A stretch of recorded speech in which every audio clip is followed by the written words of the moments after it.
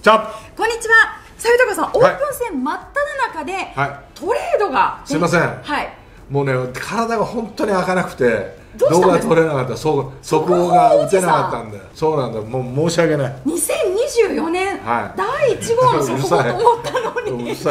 待ってたファンいらっしゃいましたよ、まあそうだね、ん。まあただ、あの遅れてもうしっかり出そうそうです。ということでね。はい、巨人の若林昭弘選手と日本ハムの郡拓也選手のトレードが成立とはい、いうことで、これあの2人ともユーティリティ選手同士の、まあそうだな。そうなんです。若林ははい。どちらかというと、左打席の方が得意という。まあ交流は右打席という。はい。でね若林のお父さんって元太陽の選手なんだよ、そうですよね。でまあお世話になったんだけどもさ、すごいいい人でね、で若林っていうのは注目してたんだけども、はい。トレードになっちゃったかと思ってね。そうなんです。まあ、ただトレードになるっていうのは、そのチームが必要とされてるから、必要と思ってるから取られるだけでね。はい、だから頑張ってほしいなっていうふうにまずは伝えておく。まずあまずまずは伝える。で年齢的にももう中堅どころというようなまあそうだな、もう後がないにというようなね、はい。まあ本当に現役ドラフトうん。みたいな感じでいってほしいよな、ですよね。まあ後がないっていうぐらいの、そうです。もう切羽詰まったような感じでやってほしいと思うけどもね。で日本ハムとしてはやっぱりその野手の強化というところで欲しかったというのと、こういったタイプの選手はいない。その若手が多い中でのやっぱりこの経験を積んでいるような選手が欲しかったというのも記事にも出ていたんですけれども、まあそうだね、だからうーん若林っていうのは足もねそこそこ速いし、はい。だから三拍子という意味では非常に揃ってる選手なんだよね、はい。で外野の守備っていうのはすごく安定してるし、まあ、内野っていうのは機会があんまりなかったんだけども、そうですね。あのーまあ安定感はある選手だと思うよ、うん。まあ、何をやらしても卒がなく、まあ、例えばレギュラーが故障した若林でいく卒なくこなしてくれるという。うんうんうん、そんな感じ。イメージ的にはその八千っていうのがいたんだけど、はい。今年からコーチになってるね。あのー八千みたいな存在になってくれるといいんじゃないかな。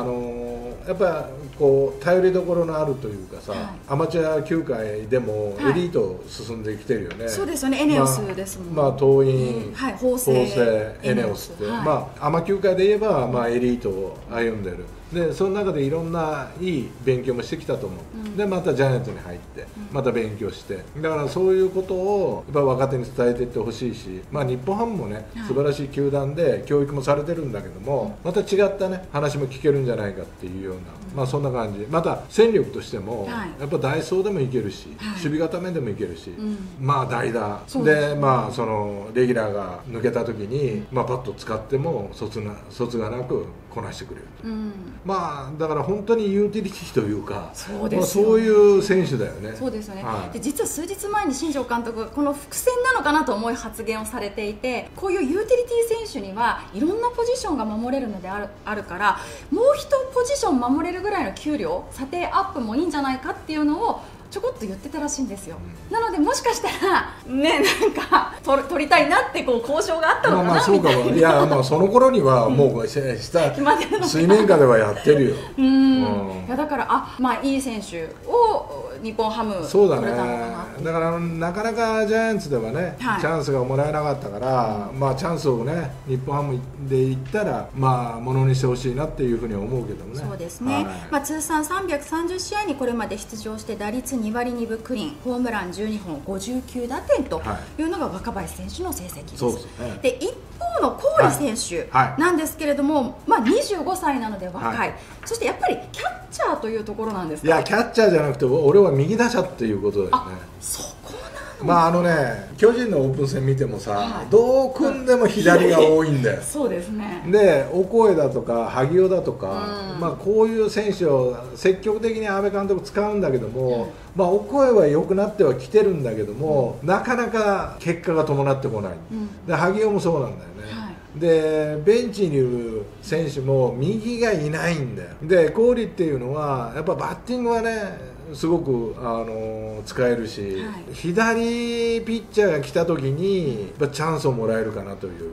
でね結果が出たりだとかホームランを打ってるのはやっぱり左ピッチャーなんだよ郡がね、はい。で昔ソフトバンクにいた、まあ、最後楽天で終わったけども川島あはい。慶三。川島慶三選手。左にめちゃくちゃ強かったじゃない。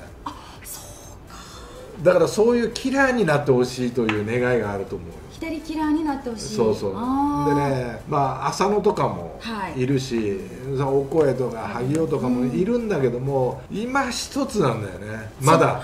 飛び抜けてっていう選手がいないんですか？そう。でなかなかこう結果がね、使えど出てこないというところで、まあ、しびれを切らしたのかなというような感じがするし、また刺激という意味では、やっぱり右バッターでねその選手たちに刺激を与えるという、まあ、こういう狙いもあったと思うんだけどもでも郡っていうのはバッティングは本当にねいいよ、うん。だからキャッチャーとしてはやっぱ大城がいたり岸田がいたり山瀬、はい。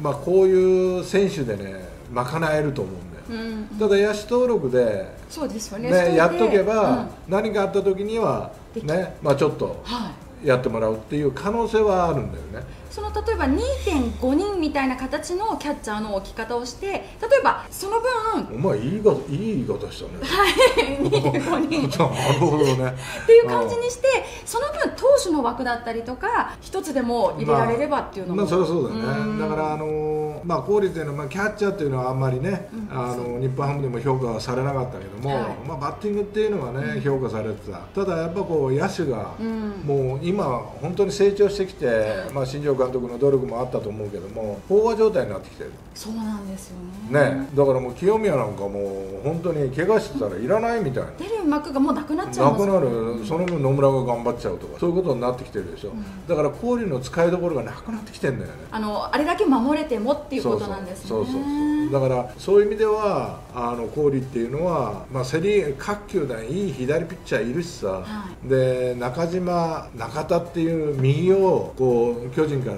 ねいなくなっちゃったんで、だからそういう意味では右バッターこれいい補強だなって活躍できればね、うん。いい補強だなっていうふうには思うよね、そうですよね、うん、だから思惑は合致してると思確かに、う、うん。で両選手とも今の段階でまだ2軍にいたのでで新しい新天地でももう1軍の方に2人とも合流ということなので、まあそうだね。やっぱり欲しくてすぐ使いいたいややっぱり見ててみないとさ自分使ってみてみ見てみないと、はい。まあわからないしね、うん。でも本当に活躍することを願ってるし、はい。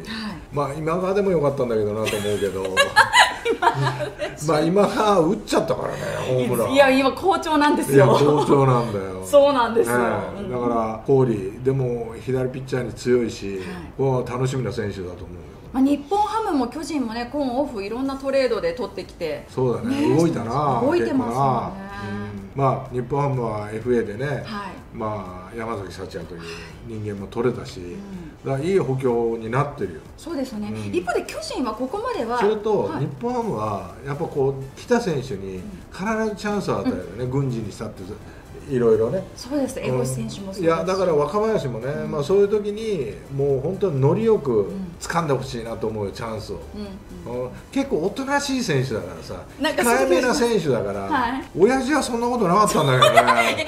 どんどん親父はできなくてもなんかできた風だったんだけどな。い やだかもうからしいのかなそのぐらい親父のずうずうしさを、はい。あの出していけばいいのになと思うけどね。結構あのね新庄監督アピールだったりとか発する選手好きですもんね。そうそうそう。まあただあのやっぱり心機一転ね、い。頑張ると思うし、まあ、そこに期待をしたいと思うしね。だからまあこれでまた日本ハムの野手陣が、まあ、競争になってくるわけじゃない、で一軍ベンチをかけてとか、さらにこう競争がヒートアップするというか、そうですよね。今が笑ってる場合じゃないよ。今本当に。確かに。いや妹の写真出してる場合じゃないインスタに。お前そっくりだなお前。ダメだって出しちゃう。俺今川が女装してんのかなと思ったぐらいだ妹さんだったんです。ね妹だって書いてあった。よ俺の妹です。俺のいやわかるよ。いやお前の妹しかないよ。それは。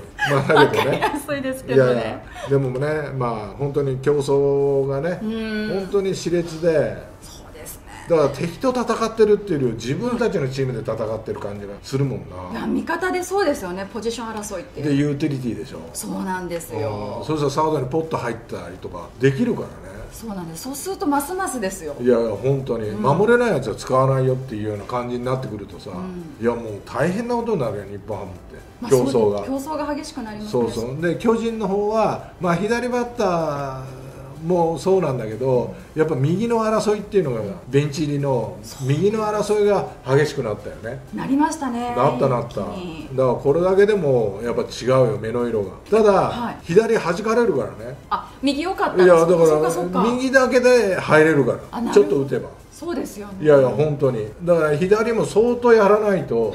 弾かれちゃう。よはいそうです。いやいやうかうかしてられない右いやうかうか左されない、あのやっぱ安倍監督は平等に俺チャンスを与えていったと思うんだよね、なだからその中でのトレードっていうのはやっぱり物足りなさを感じてるんだよ。それをメッセージとしてこのトレードを受けなきゃいけないお声選手であったり萩尾選手であったりとか、まあ、浅野浅野もそうだよな、うん。で2軍でいる増田陸とかもそうかな、うんうんうんはい。だからそういうことをメッセージとして受け止めなきゃいけない安倍監督がなぜ動いたかっていうこと。だここまで巨人ってピッチャーで動いてたじゃないですか、はいはい。で本当にこのオープン戦の中盤に来てこのユーティリティの外野手キャッチャーができるこの選手を取ったってことがその一つある意味メッセージですよね。